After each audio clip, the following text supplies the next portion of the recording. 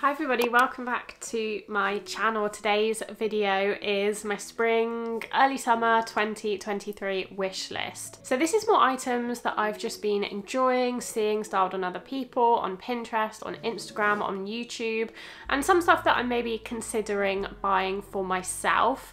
But it's a little bit more of a mood board as opposed to a wish list because I'm not necessarily planning on going out and purchasing all of these items.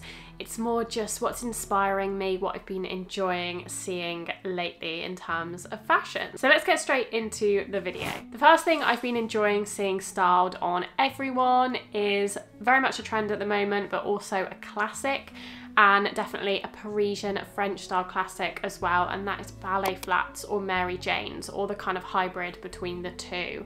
I'm just really liking this kind of shoe at the moment and particularly how it's being styled in a more modern way.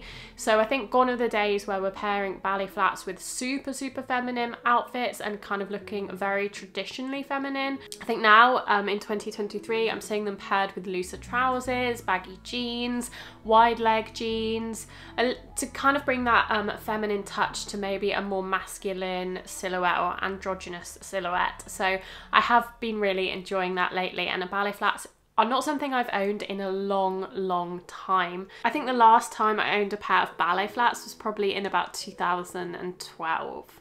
So we're looking at about 10 years ago and I really would, this is one of those items in this video that I would actually like to add to my wardrobe because I do think although they are a trend, they're also a classic and I don't see myself tiring of them once the trend has come and gone. I feel like they're a good shoe, they're an easy shoe, they go with a lot of things. Um, they're not the most comfortable maybe, which is my only sort of niggle. I remember wearing a lot of ballet flats when I was growing up and them not being very comfortable, particularly the ones that are super flat and have no support but maybe I can look into ones that are a little bit more cushioned.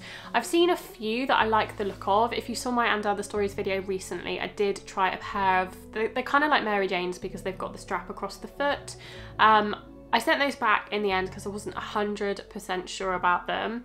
And some people recommended me other brands to try. So Vagabond have some really beautiful Mary Janes and ballet flats actually.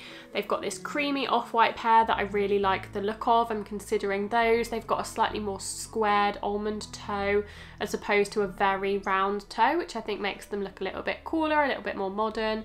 What other brands have I seen? I've seen Flattered as well, all these shoe brands that I have never tried. I've tried Vagabond once, I've had a pair of Vagabond boots, but I've never tried Flattered and I would be quite keen to test them out. They do some nice ones. I also saw they do some without a back, so if you're looking for more of a what do you call that? I don't know, like a ballet flat without a back. I can't remember the name of it now. Um, but maybe they're a little bit more appropriate for summer when it gets warmer. So I liked those as well. I think I'm looking for like I don't know, on one hand I want a black pair because they're so classic, so traditional and I feel like they're just a really good staple. And then on the other hand, and I also feel like they're a little bit more practical because on the other hand I want like a nudie cream white pair but then I'm thinking how quickly are they going to get dirty? I don't know. So I'm not sure. I'm still on the hunt. And then I was also looking secondhand as well. Um, I was looking at some Chanel ballet flats secondhand on Vestiaire and eBay um, and kind of having a look to see if I could find a pair because I do really like the Chanel ballet flats. I like the black ones um, with the cap toe that's also in black and I also like the nude ones with the black cap toe. I know you can get them cheaper from other brands like very good dupes but I would kind of be interested to test out a Chanel pair and see if they're worth the hype. Um, and they are, again, they're a style like particularly the Chanel ones are really back for this year. So I don't know. I definitely never buy them full price, but maybe if I could get a really good deal on them second hand. Um, and there were some other brands that did some secondhand as well, like Miu Miu obviously do the very kind of ballet core, very ballet slipper looking shoes, which I think I wouldn't buy just because they're a bit too trendy. They're a little bit too costumey. Um, and then I also saw Prada do some which were quite simple, just plain black patent ones with a bow and a little Prada logo on the front. So those are the few options that I've seen. Um, you can pretty much find them anywhere at the moment, which is nice because they are such a trend. Um, and as I said, it really does fit that kind of Parisian style, Parisian aesthetic that I enjoy anyway. So I feel like they would serve a purpose in my wardrobe even after the trend has gone. So that's the first item. The second item are denim midi and maxi skirts. This is another one that is huge, one of the biggest trends of 2023. We're seeing a lot of denim, but we're particularly seeing denim skirts and long line denim skirts. I've only really ever worn short denim skirts, midi denim skirts, A-line ones, the ones with the buttons down the front. Um, and I've worn those before and enjoyed them, but yeah, we're seeing these midi and maxi lengths, which I think is really interesting. I don't think I've ever sort of been alive or at least into fashion when these have been in style. I know they probably were in style about 20, 25 years ago, um, perhaps in the 90s. But yeah, they've never really come around um, since I've been into fashion. So this is something new for me and I'm quite intrigued by it. I like the idea of them because they're a good alternative to jeans. I wear jeans so often, probably five out of seven of my outfits involve a pair of jeans. And while I love them and they're always going to be a classic, it is nice to maybe switch it up and have denim but in a skirt and it kind of serves the same purpose because you're not having to get your legs out like you would with a denim midi skirt mini skirt sorry but it just looks a bit different and a little bit more modern a little bit more trend led so I'm definitely interested in these. I have tried on two.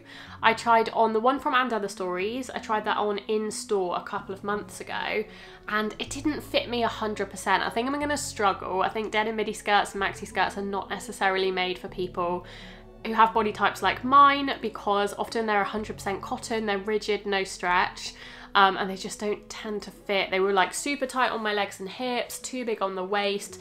Classic story, very similar to when you're shopping for a pair of jeans.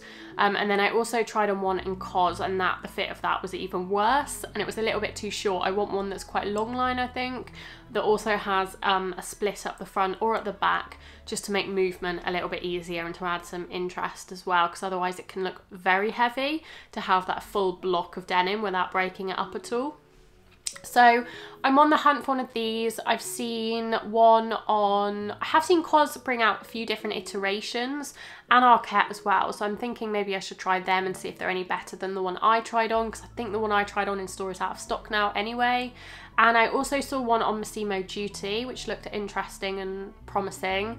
And I also saw this skirt on Massimo Dutti as well, which is actually a linen skirt, but it looks like a denim wrap skirt, which I thought was really interesting because I imagine it's a lot more breathable, um, a lot easier to walk in and move about in, probably better for the summer um, when thick denim is going to be a bit hot and stifling, but, but it still kind of has that look. So I would definitely be interested in trying this guy. I also think maybe it would fit me better because it's more relaxed um, and it's not as rigid. It might just fit my proportions a little bit better and I can still kind of get the look without actually having to get one of these really rigid skirts. So I'm debating this one instead and trying it and seeing what it's like.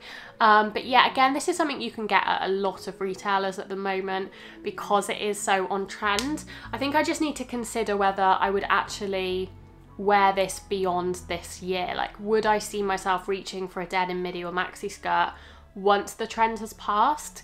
I think on one hand I would because it's denim. I love denim. I'm always reaching for denim and it's it's still quite a classic. I know it is very trendy at the moment, but I don't feel like you're ever going to feel really out of place or really outdated wearing denim of any kind of kind.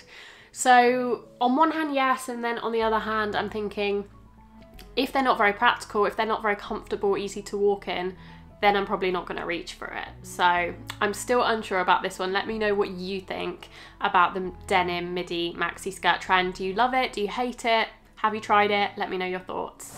Next up, we have something that I feel like has been on my wish list every year for about the past six years, and I've never really bought one, and that is a basket bag. So um, I just always want a basket bag at this time of year. It always comes up as something on my wish list, they always come up in spring and summertime. They're just the epitome of summer fashion for me. I think I just really love the texture that they bring to an outfit. It's something different to leather or suede even. It's something with a more summery, lighter, more casual texture. Really love them, the look of them on holiday, but also on a hot summer's day here as well.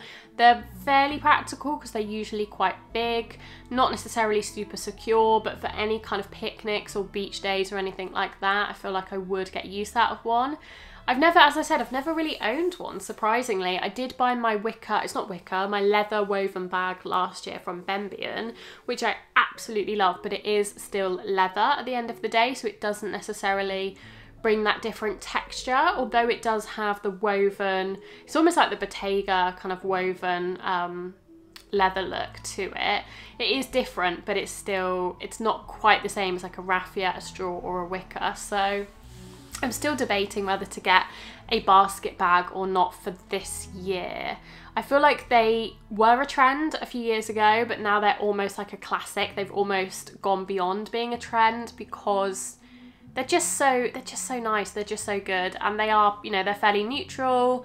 They're practical, so they seem to be lasting, outlasting the trend cycle. In terms of which one I'd get, I still don't know, which is one of the reasons I've never made the purchase because I'm so indecisive. I do like the ones that Sézane brought out recently, the ones they did in a few different colours. I particularly liked the green one, but I also liked the plain natural one as well. They do loads of baskets on Sézane if you're looking for something with a little bit more detail to it, something that has like embroidered flowers or a different shape or design. They have a lot to choose from. They're quite expensive though and and I do agree someone commented on that video saying that you can get them thrifted, secondhand or cheaper, kind of the same material. And I do agree. I think they are a lot for what they are. But I also think I would use it a lot. It would be one of my go-to bags in the summer, so I'm not necessarily opposed to spending a little bit more if there's one I really, really like the look of. So yeah, the, the jury's still out on that. I was also thinking about looking secondhand as well for something like a Loewe basket bag because I feel like they are really like, if you're going for a designer basket bag, those are the ones to get. I like the classic one that's been in style for like six years now that you see everyone has every year. I do still really like that one. I also like the more updated ones that they've brought out for this year and last year. But again, this is not something I'd buy full price. I'd definitely look on the secondhand market because you can find them for a lot cheaper. And because they have been around for so long now, for a good six, seven years, there are quite a lot on the secondhand market. So that's something I'm considering as well. Okay, next up, a brand I've been really wanting to try. I mentioned this brand a few months ago as on my kind of list of brands to try in 2023, and I still really want to try them, but particularly now because I've been really loving the collections that they've been releasing sort of this spring, summer, and that is Me and Em. I feel like they just have some really good, what looks like really high quality pieces quite expensive, so investment pieces for sure, but stuff that's very classic. And I've just been really enjoying the look of. So there was this striped linen cotton trouser, wide leg trouser that I really like the look of. I think it might come with a matching jacket or vest as well. Absolutely love these trousers with a plain white tee and a basket bag, some brown leather sandals. I really envisage that as like a spring cooler summer day outfit. I also really like some of their dresses and some of their shoes and jackets and coats as well. I just think they're one of those really underrated brands and I feel like they haven't peaked yet. I feel like more and more, as more and more people discover them, they're going to get more and more popular because I just think the quality, everything I've ever heard about their quality is amazing, particularly for the price point. It obviously is expensive, but I would say it's a similar price point to Sézane, and I've heard that the quality is, is much better. So let me know if you've tried Me and Em, if there's anything you'd particularly recommend. I, I, think I particularly have my eye on any of their tailored pieces. I think that's what they do best is tailoring. So those smarter trousers that still are very relaxed because they're a wide leg, they're a lighter colour, but they're a little bit smarter, an alternative to jeans.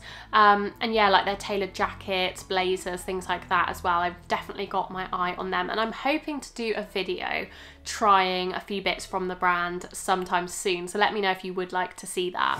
Another thing I wanted to talk about in this video is this latest drop from Sézane. So what are we thinking about this floral pattern? Because when I saw it initially, I really didn't like it. It was like an instant like, oh no, that's not for me. And I know a few people have said that as well. However, for some reason, the more I looked at it over kind of the is it the Saturday evening before it dropped and then the Sunday morning when it dropped, the more it grew on me and I have actually ended up ordering this dress. I particularly liked this dress, um, but I did like the midi skirt as well, the pleated midi skirt. Not so much a fan of the longer dress, but yeah, this mini dress, it just, there was something about it. I was like, I really want to try this. I don't know if I will like it because I'm still like, do I actually like this pattern or did I really want it because I saw that the dress was selling out because I think it did completely sell out. So obviously a lot of people did like it, but it's definitely one that kind of divides people. It is quite loud and although it's fairly neutral colours, there's just something about it that is quite statement. But I really liked the cut of the dress actually. I think the long sleeved mini dress, I'm a big fan of a long sleeved mini dress. I feel like it's nice when I've got my legs out, I almost want to cover my arms. I don't know, just to kind of have that balance. Um, and I really liked the cut and it just looked like a really lovely quality. It's a linen cotton blend, which I thought was nice. It was quite expensive, but yeah, I'm, I'm eager to review this for you, but let me know what you think of the pattern because I know a few people said they really, really didn't like it and I can definitely see why. So that is one that I have already ordered and I'm excited to arrive so I can review for you. There were quite a few things from Sézane's drops recently that I did like, particularly weirdly the bridal collection. Um, a lot of the white pieces like the white trousers and one of the, uh, the, the is it called the, oh, I can't remember what it's called now, the June skirt, I think, in the white. Again, I'm really into these pleated skirts at the moment. I just bought my one from And Other Stories, the, the lilac one with the white flowers, and I absolutely love it. I think this year I'm really into skirts, whether it's the denim skirts, that linen skirt from Massimo Dutti or these pleated skirts. I just really like them. They're really comfortable, they're really breezy, but they're just like really easy to style with a jumper, a t-shirt, a blouse. Um, you can wear them with boots, you can wear them with sandals. Something about them I really like. So yeah, I'm tempted to try the June skirt as well in the white because I thought that was very pretty. I also like it in the vintage blue actually as well, but I probably don't need that one because I've already got a colourful one from And Other Stories. So I'd probably go for a neutral one if I was going to get another one. But yeah, I did also like the floral one that came out of the um, that more floral drop. That one is quite a statement. I don't know how much. I feel like that is a piece that I like to look at, but I probably would get sick of in my wardrobe after a few months. So I'd probably be better off going with the plain white one. But yeah, these pleated skirts, that's definitely another thing that I've been really enjoying and I've been seeing quite a lot of recently as well. I think this year is very much the year of kind of the midi, the maxi skirt um, in so many different iterations. And I'm definitely here for it. It's very comfortable. It's flattering on a lot of people. You don't have to kind of get a lot of skin out and it still looks really nice and it's still really, as I said, quite light and comfortable to wear in the summer. Although I will say a lot of those pleated skirts are made of polyester. I think because of the pleats how they hold they often have to be made of polyester. I'm sure I heard someone say that somewhere. So that's why I think. But yeah I guess it's not ideal for hot weather the final thing, item I've been liking the look of on other people and I wanted to talk to you about, and this is definitely another trend for 2023. It's one of these, this is really seems to be the year of like classic pieces being on trend. So like a lot of denim, the ballet flats, and these tweed cropped jackets. I've been seeing these absolutely everywhere for the past couple of months. And surprisingly, I'm really into them. I never thought I was a tweed person, um, but I think if you're doing it in like a plain neutral colour or even a plain colourful colour, for example, this green one that I've seen from Urban Revivo, I really like that. I also like a real just cream one with gold buttons or a black one with gold buttons, um, as opposed to like the traditional kind of checked tweed, which I'm not as into. I think looks a little bit, can look a little bit granny-ish. Um, but yeah, I like these plain ones. And crop jackets are something I've not really been into for the past few years.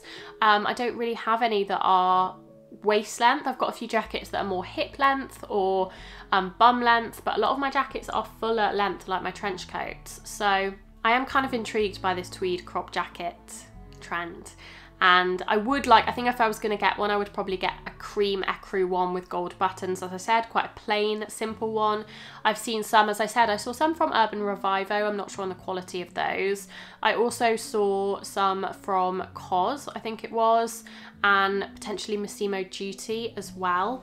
Um, so this is something that I've not decided whether I'm going to add into my wardrobe yet, potentially at some point. I'm holding off until I either find the perfect one or potentially the trend passes and I actually decide it's not something I want in my wardrobe long term, which could definitely happen because I'm still a little bit on the fence. So let me know what you think of the tweed cropped jacket trend, whether you like it. Is it a classic? It kind of is, right? It's very Chanel-esque, Celine-esque.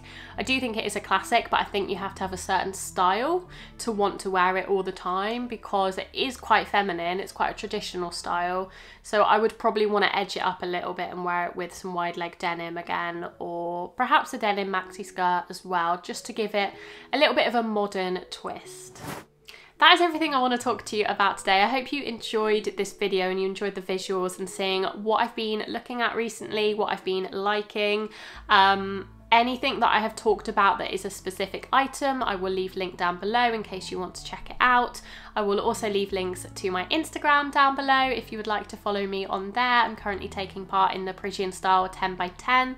So if you want to see lots more of my daily outfits, my ca quite casual outfits, capsule wardrobe, then go to Instagram and you can follow me over there. Give this video a like if you enjoyed it, if you would like to see one of these, these videos every season, because I can definitely do that if it's something you want.